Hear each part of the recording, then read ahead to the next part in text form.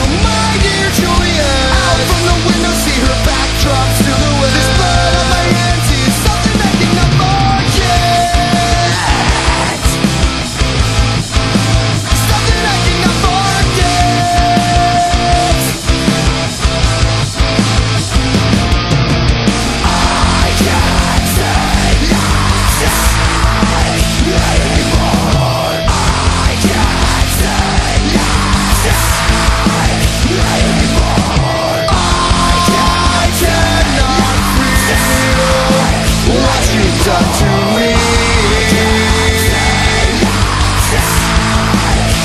you've done to me So for now Take this down a notch Crash my car through your window Wait!